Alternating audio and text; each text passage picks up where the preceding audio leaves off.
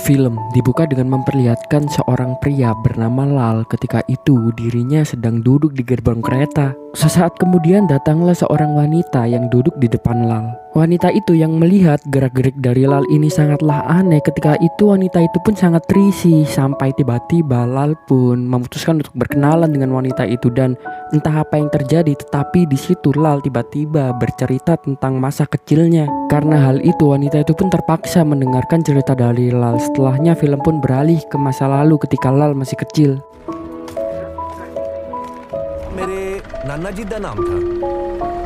Lal tinggal di suatu desa kecil di mana dia hanya dibesarkan oleh ibunya saja yang bekerja sebagai petani karena ayahnya telah meninggal karena korban perang. Lal sendiri lahir dengan IQ yang rendah sehingga dia tidak sepintar anak-anak pada umumnya. Karena hal itulah ketika ibunya mendaftarkan Lal ke sekolah dasar, dia selalu ditolak sampai suatu hari ibu Lal memutuskan untuk menemui kepala sekolah SD itu.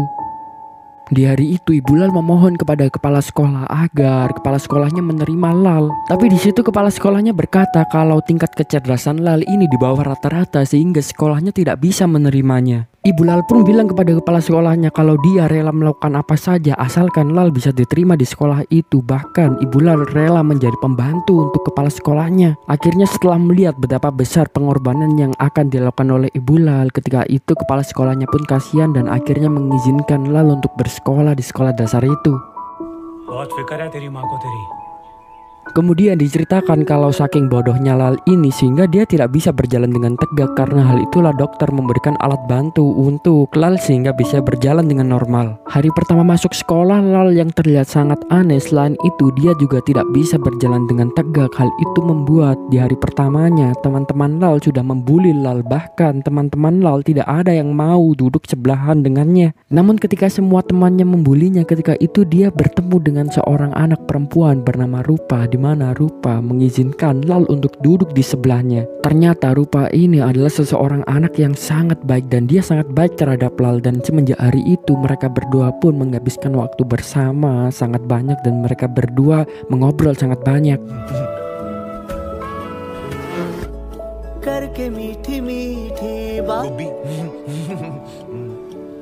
Film pun kembali lagi ke masa sekarang di kereta memperlihatkan seorang wanita yang tadinya terlihat risih dengan Lal. Ketika itu wanita itu pun mulai tertarik dengan apa yang diceritakan oleh Lal. Lal pun bilang kalau Rupa adalah wanita tercantik yang pernah dia temui seumur hidupnya dan entah bagaimana bisa tetapi kenangan bertemu dengan Rupa pertama kali itu terus berulang-ulang di kepalanya dan tidak bisa dia lupakan. Kemudian Lal pun lanjut bercerita sekarang dia menceritakan hubungannya dengan teman masa kecilnya Rupa. Lal kecil semakin menghabiskan banyak waktu bersama dengan Rupa mulai dari bermain dan bersenang-senang sampai Lal pun bilang selain ibunya Rupa adalah salah satu orang yang lebih banyak berbicara dengannya. Di suatu malam Lal kecil sampai pernah bertanya kepada Rupa apakah ketika mereka dewasa nanti Rupa mau menikah dengan Lal tetapi ketika itu Rupa tidak menjawabnya. Kemudian Lal melanjutkan ceritanya pengalamannya ketika dia mengunjungi rumah bibinya di mana Lal cerita ketika kecil dia sangat suka sekali untuk bergoyang. Lal bilang kalau di hari itu dia bertemu dengan seorang pemuda yang menyukai goyangannya sehingga pemuda itu pun menirukan goyangan Lal. Film pun kembali lagi ke masa sekarang di kereta di mana sebelumnya yang mendengarkan cerita dari lalanya wanita saja sekarang terlihat kalau banyak orang yang mulai tertarik dengan apa yang diceritakan oleh Lal sehingga banyak orang yang mendengarkan cerita dari Lal. Lal pun lanjut cerita kalau pemuda yang ditemuinya ketika masa kecil dulu itu sekarang menjadi orang terkenal karena pemuda itu adalah Sarukan. Tentu ketika Lal bilang itu semua orang tidak percaya karena menganggap Lal ini hanyalah seseorang pembual. Setelah itu Lal pun lanjut melanjutkan lagi kisah masa kecilnya di suatu hari. Lal yang sedang bermain bersama dengan Rupa saat itu lagi-lagi dia dibully tetapi kali ini teman-teman Lal itu melempari batu kepada Lal. Karena tidak bisa berbuat apa-apa akhirnya Rupa pun menyuruh Lal untuk berlari sekecang-kencangnya. Lal yang bodoh di situ dia hanya bisa menuruti apa yang dikatakan Rupa ya padahal Lal ini kakinya pincang tetapi saat itu Lal berusaha untuk memaksakan diri berlari sekencang-kencangnya. Luar biasanya di hari itu terjadi keajaiban karena tiba-tiba Lal bisa berlari dengan tegak dan sangat-sangat cepat. Dan karena kejadian di hari itu Lal mempunyai hobi baru yaitu berlari di mana dia menghabiskan waktunya dari tempat ke tempat untuk lari dan terus berlari.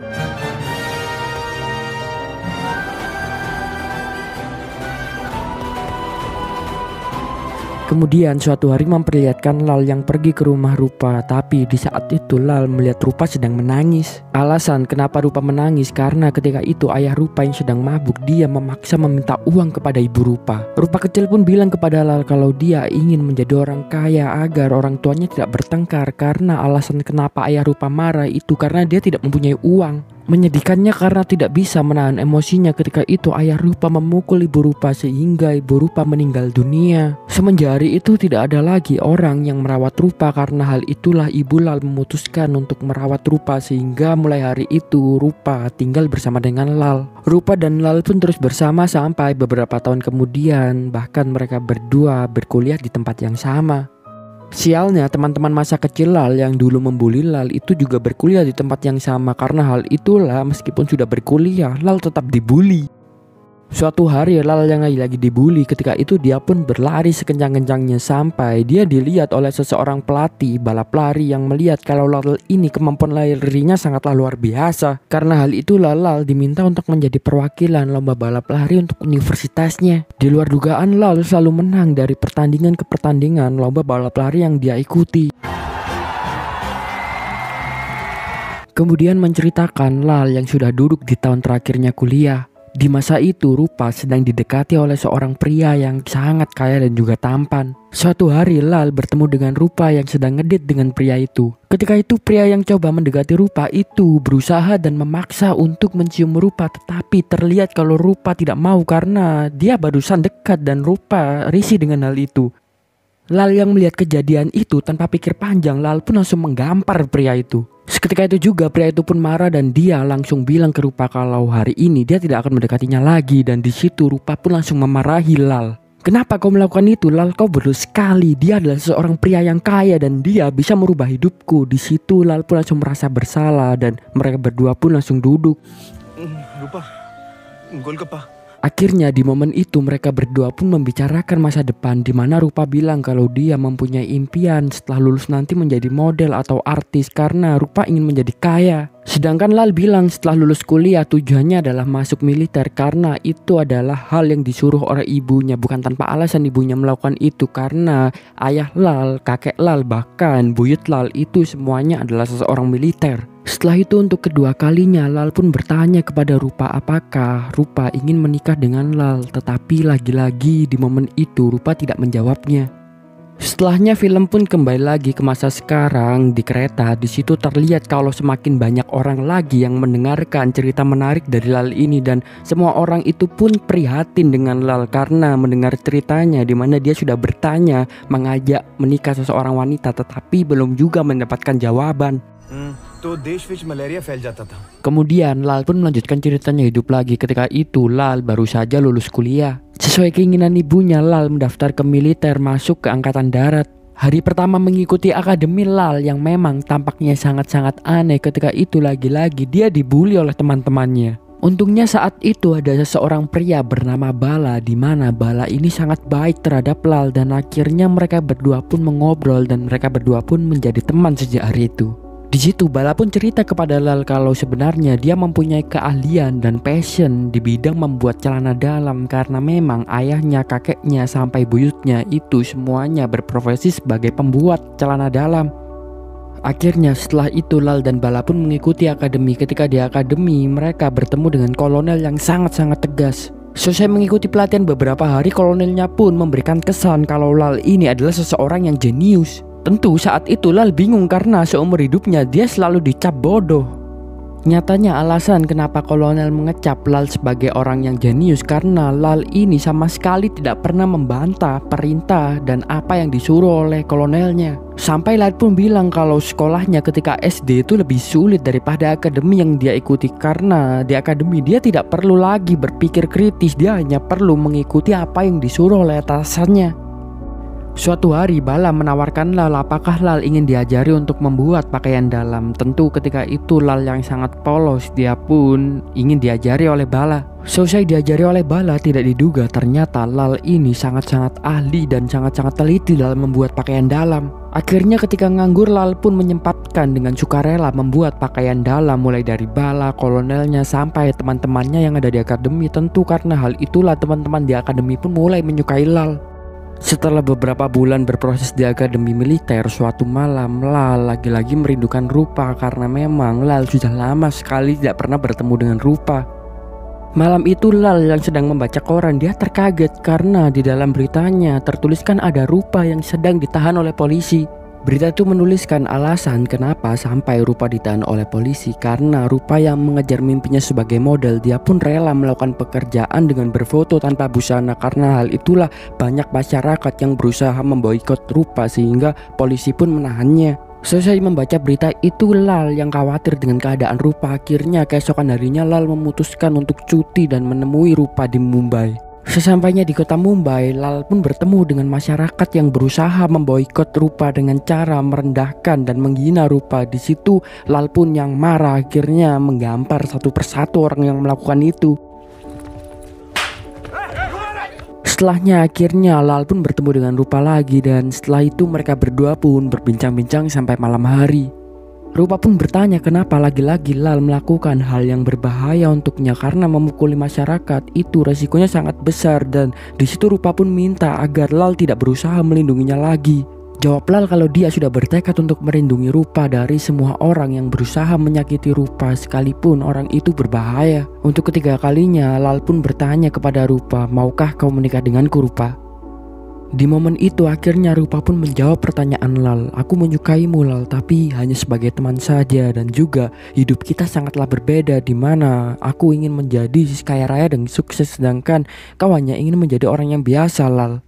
Setelah itu Rupa pun meninggalkan Lal Tetapi sebelum itu Lal pun bilang kepada Rupa Kalau beberapa hari lagi Lal akan ditugaskan di medan perang Kemudian menceritakan Rupa yang memang sangat ingin menjadi seorang artis terkenal Dia pun sampai rela menjadi wanita penghibur untuk seorang produser agar dirinya dimainkan pada suatu film di saat yang lain menceritakan Bala dengan Lal yang ternyata ditugaskan untuk mengikuti perang Kardil antara India melawan pasukan radikal Pakistan.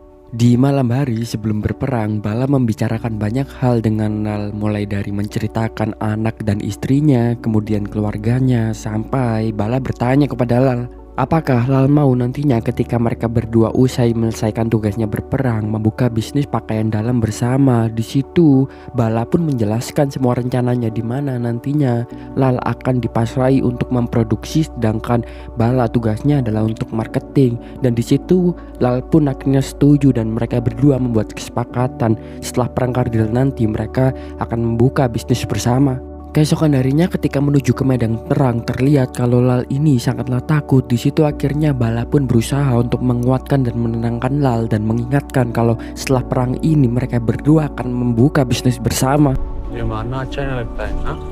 Beberapa saat kemudian akhirnya mereka pun sampai di medan perang dan keadaannya sangatlah kacau karena tembakan tidak ada henti-hentinya dari pihak lawan.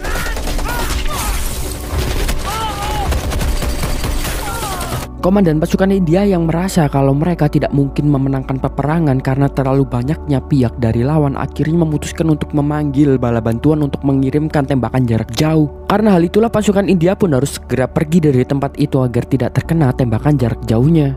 Sialnya di momen genting itu Lal terkena bom sehingga dia harus pingsan di situ. Sahabat Lal Bala akhirnya berusaha untuk membangunkan Lal.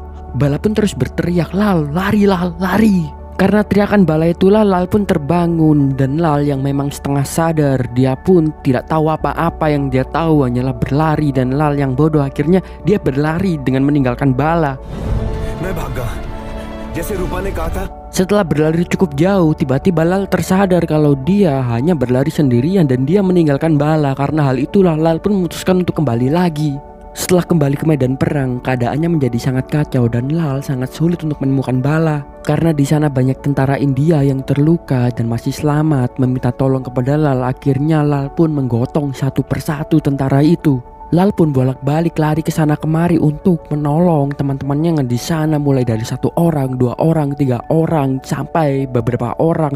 Bahkan Lal yang memang dasarnya bodoh, dia secara tidak sengaja sampai menolong lawannya yang merupakan orang Pakistan. Tentu orang Pakistan itu pun kaget ketika ditolong oleh Lal. Setelah menolong beberapa orang, akhirnya Lal pun menemukan Bala dengan keadaan yang telah tertembak. Di situ Lal pun langsung berusaha untuk menyelamatkan Bala. Menyedihkannya luka yang diderita oleh Bala itu sangatlah parah dan karena hal itulah sesaat kemudian akhirnya Bala pun meninggal dunia. Tentu di situ Lal pun menangis dengan sangat keras karena sahabatnya telah meninggal dunia. Selanjutnya film kembali lagi ke masa sekarang di kereta terlihat orang-orang yang mendengarkan cerita dari Lal tentang kematian Bala itu juga ikut meneteskan air mata karena mereka ikut berempati atas meninggalnya sahabat Lal.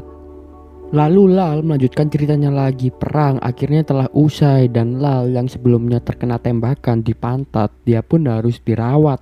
Ketika dirawat ternyata Lal bersebelahan dengan musuh orang Pakistan yang telah diselamatkan Lal Orang itu bernama Muhammad Paji. Luar biasanya tidak ada orang di India yang mengetahui kalau Muhammad Paji ini adalah orang Pakistan yang merupakan musuhnya. Bahkan Lal yang polos dia pun tidak menyadari sampai detik itu.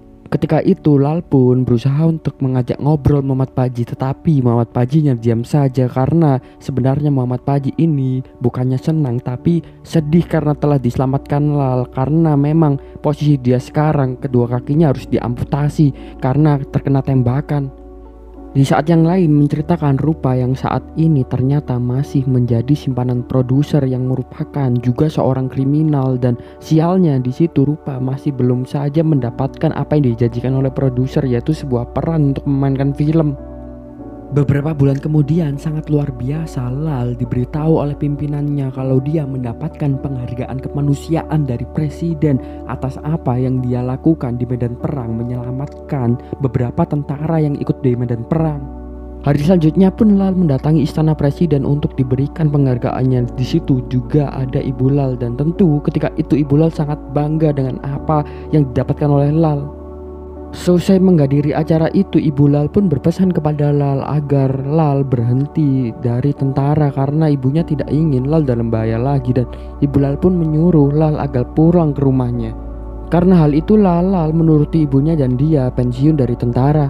Ketika di perjalanan pulang, Lal secara tidak sengaja melihat rupa yang sedang berada di dalam mobil tanpa pikir panjang. Lal pun langsung berlari mengejar mobil itu. Lal terus berlari sampai mobil itu berhenti di hotel. Terlihat Rupa keluar bersama pacar gelapnya yaitu produser. Lal pun terus mengikutinya sampai produser itu berlaku kasar kepada Rupa. Melihat Rupa diperlakukan kasar, Lal tidak bisa diam saja. Dia pun langsung menghajar produsernya dan produsernya yang merupakan mafia. Dia pun langsung mengeluarkan pistol. Tetapi di situ orang-orang menghentikan produser itu karena melihat Lal yang berpakaian militer itu akan menimbulkan masalah dan akhirnya Lal pun pergi bersama dengan Rupa.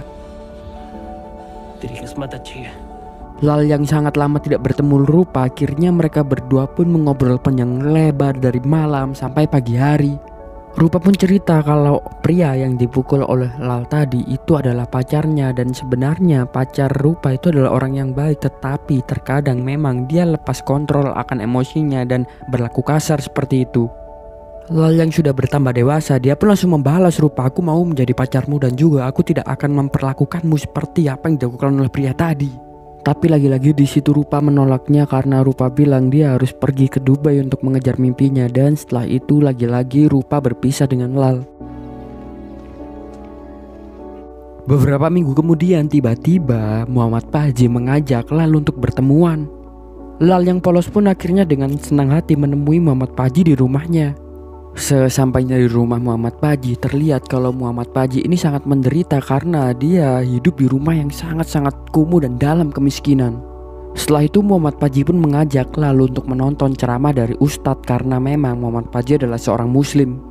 Muhammad Paji pun bilang kalau alasan kenapa sampai bisa dia ikut berperang karena nyatanya Muhammad Paji sadar kalau apa yang dijelaskan oleh beberapa pemuka agama dan juga apa yang disampaikan di dalam Al-Quran itu terkadang sangat berbeda dan karena hal itulah Muhammad Paji pun merasa dan telah tersadar kalau dirinya ikut berperang karena dirinya telah dicuci otak Ternyata alasan kenapa Muhammad Paji ingin bertemu Lal Nyatanya Muhammad Paji ini masih sangat menyimpan dendam kepada Lal Karena telah menyelamatkan hidupnya. Karena apa yang dipercayai Muhammad Paji adalah ketika dia meninggal dalam berjihad Dia akan masuk surga. Di situ Muhammad Paji pun langsung memaki-maki Lal. Kau tahu aku ini siapa? Aku ini musuhmu tolol Setelah mendengar itu Lal yang memang polos dia pun tidak mengetahui apa-apa dan di situ Muhammad Paji karena telah dalam fase titik yang terendah dan juga kelihatannya dia sudah tidak percaya agama. Di momen itu Muhammad Paji pun menjadi pecandu alkohol. Karena alkoholnya habis akhirnya Muhammad Paji mengajak Lal agar mentraktirnya mabuk bukan Sesampainya di bar untuk minum alkohol, Lal pun bercerita kepada Muhammad Paji kalau dia berencana untuk membuka bisnis pakaian dalam di mana bisnis itu adalah rencana dari sahabatnya yang telah meninggal Bala. Selesai mendengar rencana dari Lal itu, awalnya Muhammad Paji menertawai Lal karena Muhammad Paji meremehkan kalau Lal bisa membuka bisnis sendiri. Bahkan Muhammad Paji bilang seandainya Lal nanti bisa membuka bisnis itu, Muhammad Paji akan dengan sukarela ikut menjadi marketing untuk Lal. Beberapa hari setelahnya sesuai keinginan dari ibunya, Lal pun pulang ke rumahnya dan di situ Lal pun mulai membangun bisnisnya. Lal memulai bisnisnya sesuai persis dengan rencana yang dibuat oleh Bala dulu di mana dia mulai membeli tiga alat mesin jahit dan mempekerjakan dua orang untuk membuat pakaian dalam.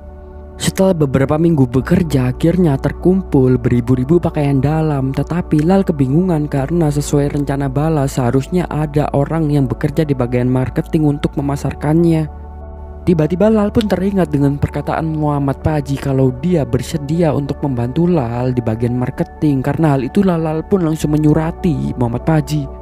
Tidak diduga-duga beberapa hari kemudian ternyata Muhammad Paji pun pergi ke kampung Lal. Di situ Muhammad Paji bilang kepada Lal kalau dia akan menepati janjinya dan mulai hari itu akhirnya Muhammad Paji pun menjadi bagian marketing untuk memasarkan pakaian dalam yang dibuat oleh Lal.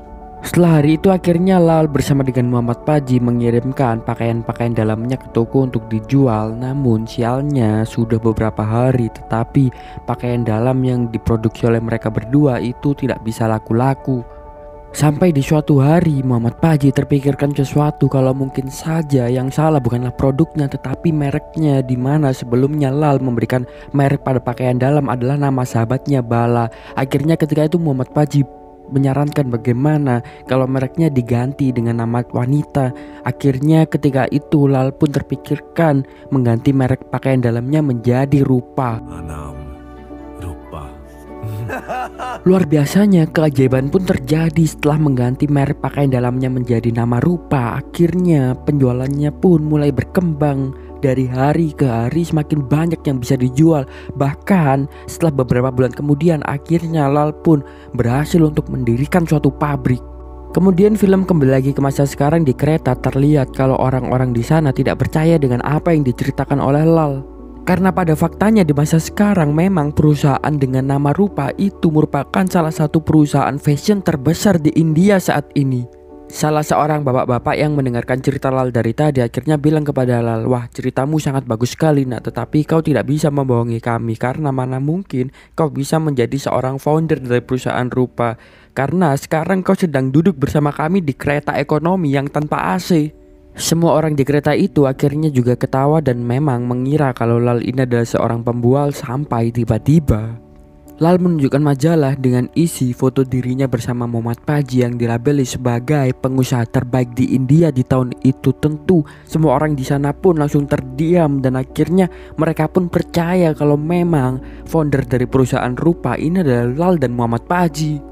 Lalu Lal pun melanjutkan ceritanya lagi semenjak mendirikan perusahaan rupa Lal dan Muhammad Paji pun menjadi kaya raya dan Lal yang tidak pernah melupakan jasa sahabatnya Bala terus memberikan beberapa sebagian kekayaannya kepada anak dan istri Bala. Suatu hari Muhammad Paji yang melihat berita di TV kalau negaranya Pakistan sedang dalam konflik akhirnya di hari itu Muhammad Paji pun bilang kepada Lal kalau Muhammad Paji ingin kembali ke negaranya Pakistan karena dia ingin menolong warga-warga yang kesusahan di sana dan juga Muhammad Paji berpesan kepada Lal kalau Lal tidak perlu memikirkan lagi mengenai uang karena seluruh kekayaan dari Lal itu sudah diinvestasikan dan juga perusahaan juga di, sudah dicarikan oleh Muhammad Paji orang-orang terbaik sehingga sebenarnya Lal tinggal duduk saja dan menikmati hidup. Tentu mendengar itu Lal sangat sedih karena dia harus berpisah dengan salah satu sahabatnya lagi Tapi akhirnya Lal pun harus merelakan kepergian dari Muhammad Paji Setelah itu mereka berdua pun berpisah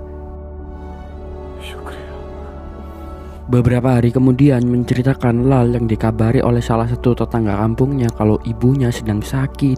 Seusai mengetahui berita itu tanpa pikir panjang, Lal pun langsung memutuskan untuk balik ke kampungnya. Sesampainya di rumah, Lal diberitahu kalau ibunya mengidap penyakit kanker dan waktunya tidak lama lagi. Karena hal itulah Lal pun memutuskan untuk menetap di kampungnya selama beberapa hari untuk merawat ibunya. Di masa akhir hidupnya, Ibu Lal memberikan pesan kepada Lal mengenai kekayaannya. Ibu Lal berkata, Tuhan hanya memintamu menyimpan secukupnya saja, selebihnya berikan kepada orang yang membutuhkan. Setelah itu ibunya pun meninggal. ਕਿ ਤੁਹਾਡੀ ਜ਼ਰੂਰਤਾਂ ਪੂਰੀ ਹੋਣ ਦੇ ਬਾਅਦ ਵੀ ਜੋ ਵੀ ਤੁਹਾਨੂੰ ਮਿਲਦਾ ਹੈ Beberapa hari kemudian Lal pun menjalankan nasihat yang diberikan oleh ibunya dia menyumbangkan sebagian kekayaannya untuk membangun rumah sakit dan menyedekahkannya kepada orang-orang yang membutuhkan.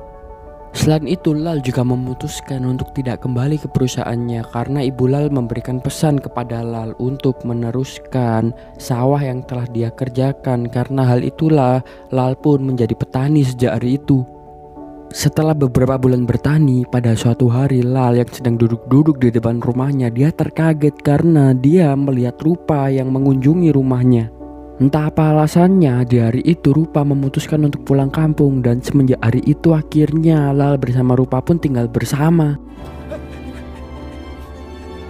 Mereka berdua pun menjadi semakin dekat lagi dan masa-masa itu adalah masa-masa paling indah untuk Lal karena dia bisa tinggal bersama orang yang dicintainya sampai pada suatu malam.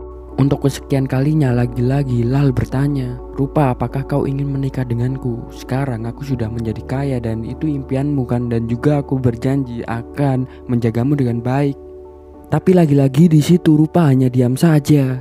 Akhirnya ketika itu Lal pun tersadar kalau memang Rupa tidak pernah mencintai dirinya. Akhirnya Lal pun bilang, "Aku tahu Rupa kenapa kau tidak mau karena aku bodoh kan?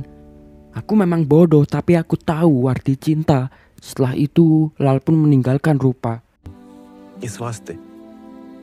Hey नहीं लाल ऐसी बात नहीं है पर मैं मैनू ki Rupa yang melihat Lal marah untuk pertama kalinya. Ketika itu Rupa pun merasa bersalah. Akhirnya Rupa menyusul Lal ke kamarnya dan di situ Rupa meminta maaf, memeluk Lal dan adegannya pun semakin intim. Akhirnya mereka berdua pun bercinta di malam itu. Di tengah malam ketika Lal sedang tertidur tiba-tiba ada seorang polisi yang mengetuk rumah Lal Ternyata polisi itu berniat untuk menjemput Rupa Alasan kenapa Rupa dijemput oleh polisi karena ternyata pacar Rupa yang dulu produser itu terlibat kejahatan dan diduga Rupa terlibat di dalamnya. Karena hal itu Rupa pun terpaksa harus ikut dan dia tidak mengabari Lal. Keesokan paginya ketika terbangun tentu Lal langsung mencari Rupa karena Rupa tidak pernah bilang kepada Lal kalau dia akan meninggalkan dirinya. Karena tidak bisa menemukan di mana Rupa, akhirnya Lal pun duduk termenung dan dia tersadar kalau memang Rupa tidak pernah mencintai dirinya. Di momen itu Lal pun teringat kata-kata ibunya yang selalu bilang, "Kau harus melupakan masa lalumu sebelum kau bisa move on." Akhirnya untuk melupakan Rupa, Lal pun mulai berlari. Dia lari mulai dari desanya sampai ke desa lain, kemudian ke beberapa desa. Setelah mengitari semua desa di kotanya, Lal tidak berhenti. Dia meneruskan dari kota ke kota lain sampai satu bulan, dua bulan, bahkan Lal terus berlari sampai satu tahun. Lal pun terus berlari mengitari India sampai banyak orang yang tahu kalau Lal ini terus berlari. Media pun melirik Lal dan mengira kalau pasti ada alasan kenapa Lal terus berlari. Setelah empat tahun tidak berhenti berlari mengitari India, Lal semakin terkenal seantero India. Bahkan banyak orang-orang yang mengikuti Lal untuk berlari karena masyarakat mengira kalau Lal ini adalah lambang harapan. Sampai suatu hari Lal memutuskan untuk berhenti berlari. Tentu di situ media langsung bertanya apa alasan Lal berlari selama itu. Tetapi Lal hanya diam saja dan tidak menjawabnya. Setelah itu Lal pun memutuskan pulang.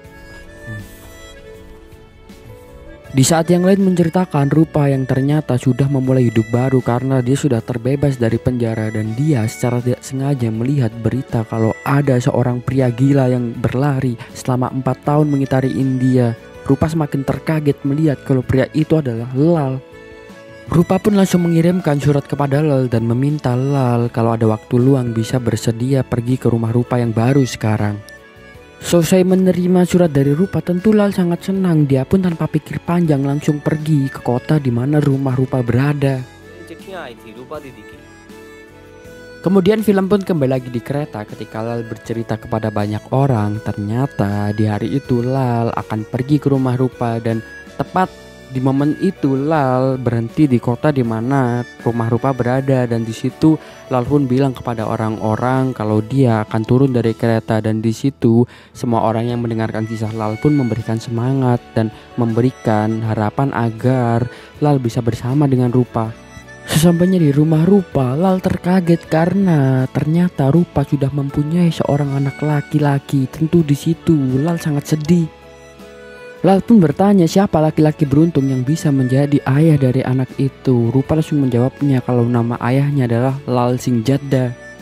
Lal yang polos dia pun hanya bisa tertawa. Oh nama ayahnya ternyata sama seperti namaku ya. Sampai Rupa bilang kalau yang dimaksud Lal itu adalah dirinya. Tentu mendengar itu Lal pun langsung terdiam.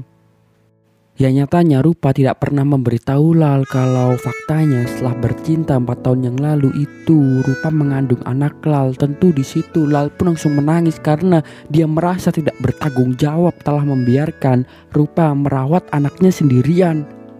Lal yang masih merasa bersalah dia pun bertanya kepada Rupa anak itu tidak bodoh seperti aku kan. Rupa langsung menjawab kalau anaknya itu sangatlah pintar.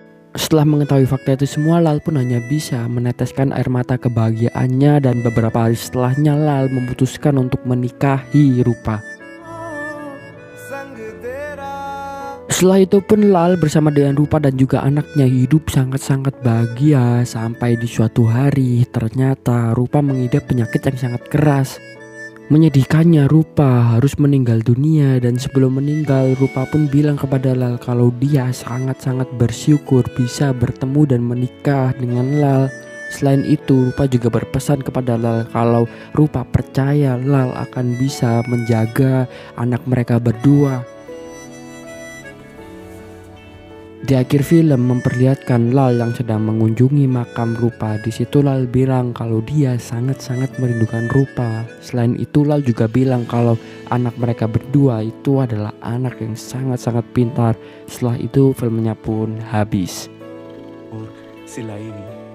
Bye bye papa. Bye. Bye. Dalam film ini kita bisa belajar seperti layaknya Lal Terkadang hidup hanya perlu dijalani tanpa terlalu banyak dipikirkan. Ya meskipun memang seperti yang dialami Lal, dibully sejak kecil sampai di akhir film orang yang dicintainya harus meninggal dunia. Seringkali hidup membawa kita mengalami banyak penderitaan.